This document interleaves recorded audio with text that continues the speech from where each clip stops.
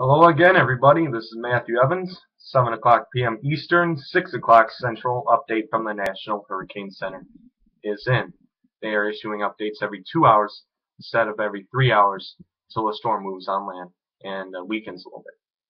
Maximum winds remain at around 80 miles per hour with isolated higher wind gusts.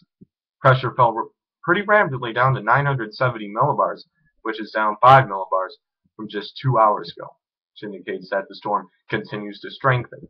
Isaac's forward motion remains to the northwest at 8 miles per hour, so it's moving pretty slowly and indicates that uh, there's going to be a pretty big flood threat in around uh, the New Orleans area.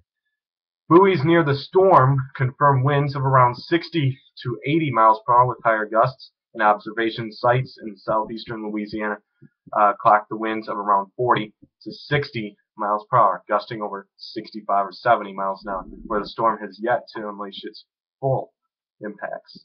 Again, stay safe and hunker down if you lived in the warn areas from Louisiana, Mississippi, Alabama, all the way to the far western panhandle of Florida.